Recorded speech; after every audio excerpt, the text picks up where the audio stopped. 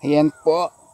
Kumusta kayong lahat dyan? Ayan, papakita ko sa inyo ang magandang senaryo dito sa Tuktok ng Burol. Kung saan makikita natin ang dagat at ang yung lake papuntang dagat sa La Union. Ayun oh.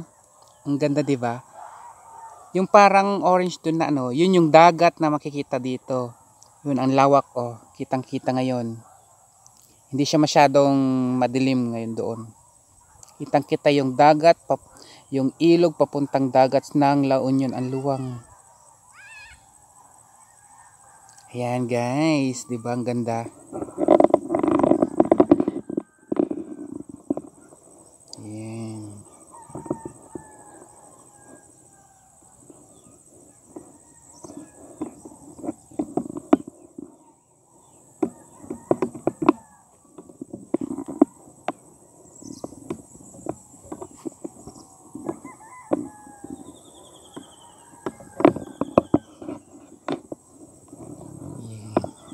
Diba? Ang ganda dito.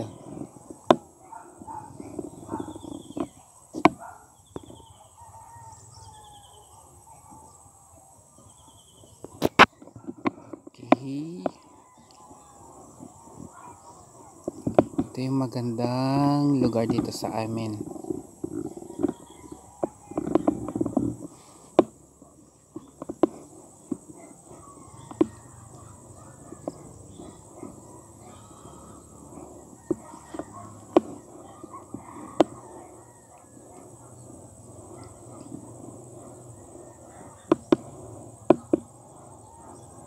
Dito nyo makikita ang napakagandang sunset.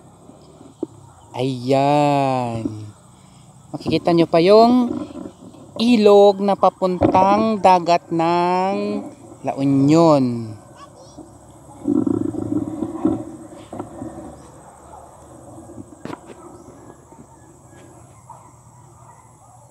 Okay, di ba?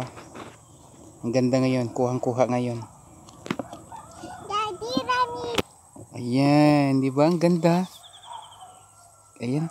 Pag dito kasi sa personal nyo makikita, kitang kita nyo talaga yung lawa papuntang dagat. Ang ganda tingnan. Ayan guys.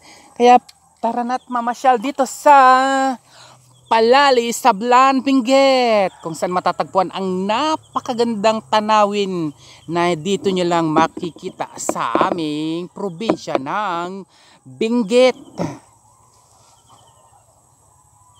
Yan guys, thank you so much. Sana po makapasyal kayo dito sa Benguet. Nang makita nyo ang di matawarang ganda ng kalikasan dito sa amin. Dito sa Sablan, Benguet.